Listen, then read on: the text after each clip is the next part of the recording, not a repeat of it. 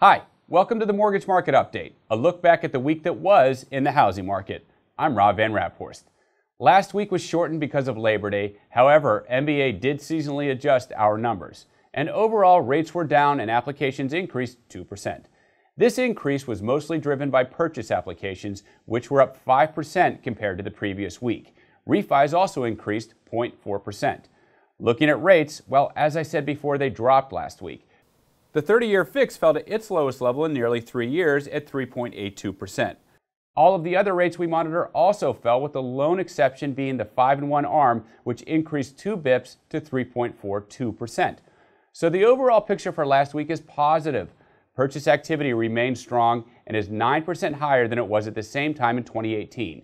And because of the low rates, August was the strongest month for activity this year. That's it for now. If you want more information on MBA's weekly application survey, check us out at mba.org/research.